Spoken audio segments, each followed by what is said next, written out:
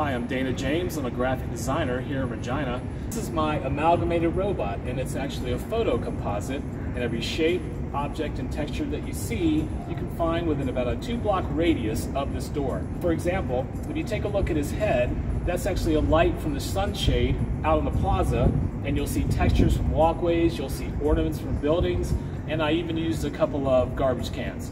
So next time you're downtown, take a look at my door and see if you can find the other things that I use to make this robot while you're downtown.